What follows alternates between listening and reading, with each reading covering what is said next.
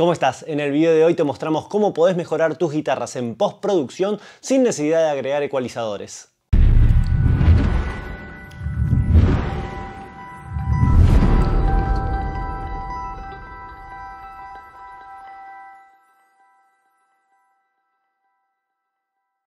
Seguro te pasó que alguna vez terminaste de grabar tus guitarras con un sonido espectacular, te gustan los amplificadores, los micrófonos, está todo bien, pero cuando las vas a escuchar en postproducción hay algunas frecuencias como que están de más, que por ahí los agudos suenan un poquito estridentes, los medios están presentes, cortan bien en la mezcla, pero tienen cierta dureza en el sonido que te terminan no gustando en el contexto de banda. ¿Qué es lo que hace todo el mundo en postproducción? Levanta algún plugin de ecualización y empieza a cortar esas frecuencias que molestan. Es una opción válida, por supuesto, pero hay veces que podés hacer cosas que suenen todavía mejor, es decir, lograr mejores resultados sin necesidad de andar levantando plugins si tenés algo de hardware. ¿Cuál es un truco clásico que se suele usar que a veces da muy buenos resultados, otras veces no tanto, así que lo tenés que probar y sacar tus propias conclusiones? Bueno, en vez de ecualizar, es decir, antes de ir a ecualizar, prueba comprimiendo un poco o no comprimiendo, pasando por un compresor. ¿Qué tipo de compresor?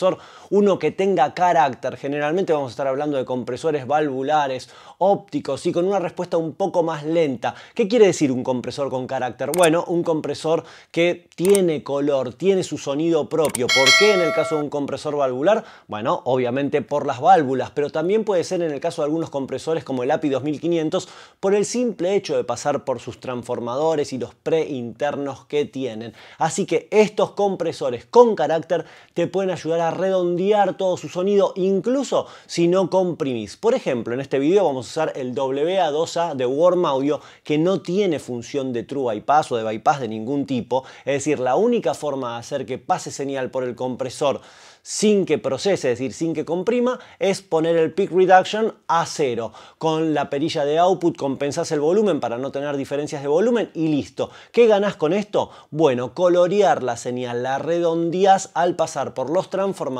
y las válvulas del WA2A de Warm Audio. Así que eso es lo que te voy a estar mostrando ahora. Vas a escuchar guitarra en canal limpio, guitarra en canal distorsionado sin ningún tipo de procesamiento. Luego la vamos a pasar por el WA2A pero sin ningún tipo de compresión, es decir, para que escuches cómo este compresor, sin comprimir, simplemente por sus válvulas y transformadores, te va redondeando el sonido, te saca algunas asperezas que pueden resultar molestas. Y después vamos a escuchar en contexto de banda, así toda la banda completa, mismo canal limpio, canal distorsionado, y vas a escuchar cómo suena la guitarra o las guitarras sin procesamiento alguno, luego cómo suenan pasando por el compresor en pseudo bypass, es decir, sin comprimir. Y como yapa también te voy a mostrar algo que me gusta hacer a mí, que es comprimir a penitas, un pelito, ponele 1 o 2 dB, que es lo que se suele hacer cuando se utiliza el compresor como compresor de bus, ¿sí? Y de esta forma vas a estar también pasando por los circuitos, obvio, pero dando una leve, leve compresión para equiparar los sonidos. Así que escucha y me decís, obviamente, déjame acá un comentario en este video, me decís qué te pareció, cuál es la versión que más se adecua a tus gustos personales. Vamos a los ejemplos. Bueno, ahora ya estamos en Logic, te estoy compartiendo pantalla y vas a escuchar todo lo que te fui comentando en la primera parte del video. Primero escucha cómo suena la guitarra en canal limpio.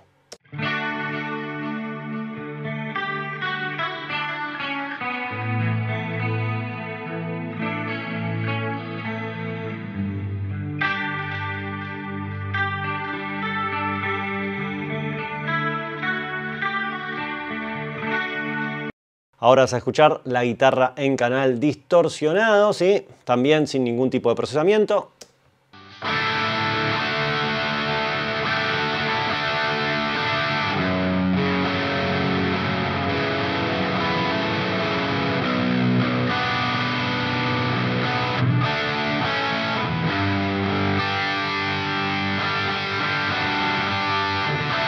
Bien, perfecto. Volvamos a canal limpio, ¿sí? Para escuchar todo lo demás que te comenté, que es primero vamos a pasar la señal por WA2A sin ningún tipo de compresión, es decir, ponemos el peak reduction a cero, compensamos volúmenes y listo. ¿Cómo hago para procesar esto? Esto ya te lo mostré en algún otro video. Si acá en Logic voy a cargar un plugin que es el input output, que lo que te permite es rutear la señal de un lado para el otro. Voy a seleccionar mis salidas y mis entradas para enviarle la señal al WA2A de Warm Audio o completo el proceso con la función de ping para que no tener ningún tipo de retraso y ahora lo que hago es simplemente reproduzco el canal limpio y voy a estar sonando con la señal coloreada por el WA2A pero no comprimida y suena así.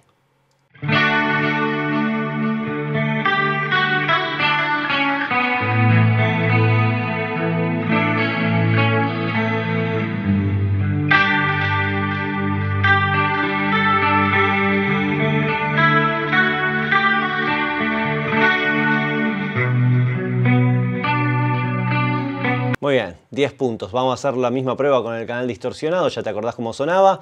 Ahora simplemente le vamos a aplicar el mismo procesamiento, sí, peak reduction a cero y ahí va.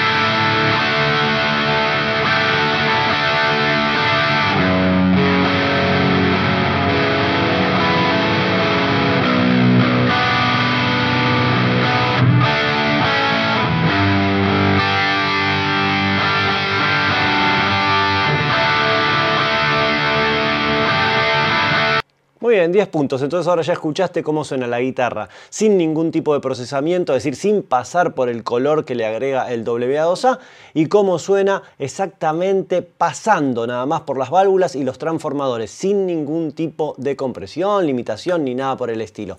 Vamos a, ahora a los otros ejemplos. Muy bien, acá estamos en otra sesión de Logic. Lo que hice en esta sesión es tener todas las guitarras ya levantadas. ¿Para qué? Para no tener que hacer todo el procesamiento en tiempo real y que perdamos mucho tiempo en este video. Entonces así puedo ir switchando entre guitarras con el compre, sin el compresor, con el compresor en pseudo bypass, etc. Entonces vamos a los ejemplos de nuevo. Ahora sí, en contexto de banda. Toda la banda completa con las guitarras en canal limpio sin ningún tipo de procesamiento. Es decir, no estoy pasando por el warm audio. Esto suena así.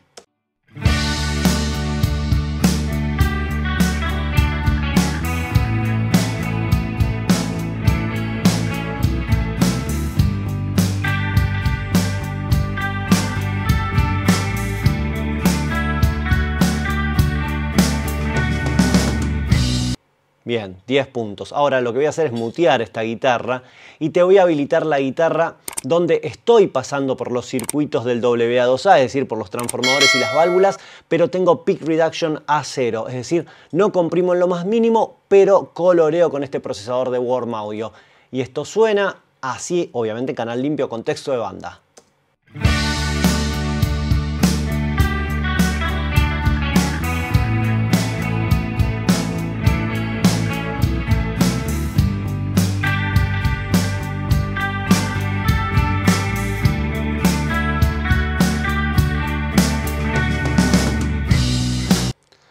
Bueno, ahí pudiste escuchar esto. La mejora es inmediata, se percibe claramente. Obviamente tenés que estar escuchando con auriculares profesionales o monitores de estudio de grabación si querés escuchar todas estas diferencias bien. Sí, pero solo el hecho de pasar por los circuitos del WA2A ya le dio otro color y otra vida al sonido en canal limpio y es súper notorio. Ahora te voy a mostrar como tercer ejemplo lo que yo te había mencionado que es voy a agregar 1 o 2 dB de compresión como mucho, ¿sí? simplemente para tener ese efecto de bass compressor en las guitarras, lo cual ahora estoy agregando color y estoy comprimiendo apenas el sonido para, para hacerlo un poco más parejo. Esto en canal limpio suena así.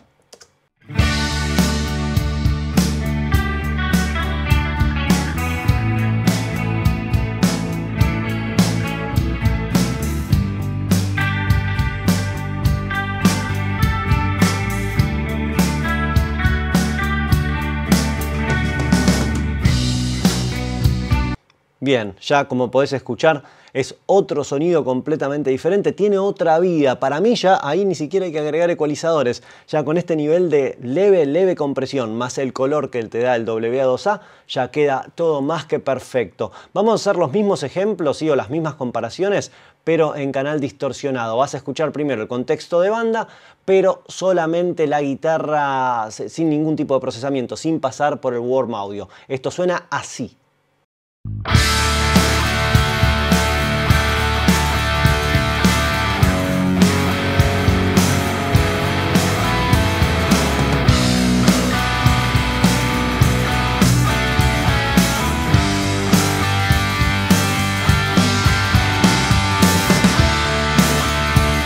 Sí, es un muy buen sonido de guitarra que por ahí tiene algunas frecuencias que medio cortan demasiado. Escucha lo que pasa cuando mando esta señal a través de el WA2A de Warm Audio. Fíjate cómo se redondea el sonido, cómo adquiere otra vida directamente. ¿sí? Ahí vamos la señal pasando por el WA2A con peak reduction en cero, es decir, ningún tipo de compresión, simplemente coloreamos la señal con los transformadores y las válvulas.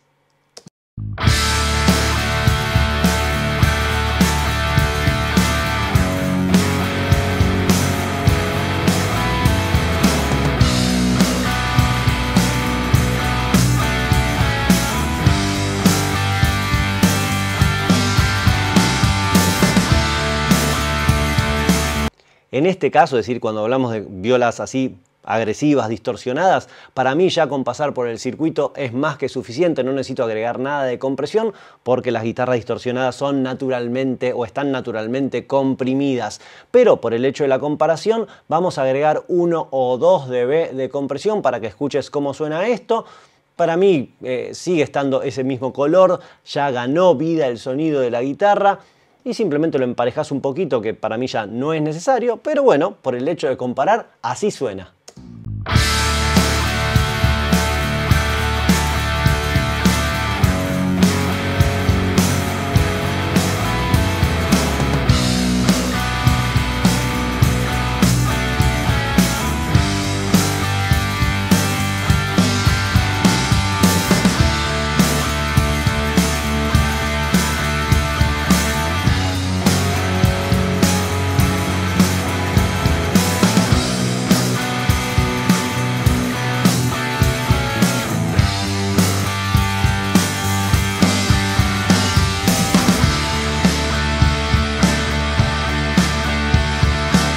Muy bien, ahí tenés entonces todas las comparaciones. No olvides, si al pie de este video, dejarnos tu comentario y nos decís cuál es la versión que más te gustó, tanto en canal limpio como en canal distorsionado. ¿Te sirve esta opción de en vez de ecualizar, ir directamente a colorear con un buen compresor valvular? Decinos qué opinás.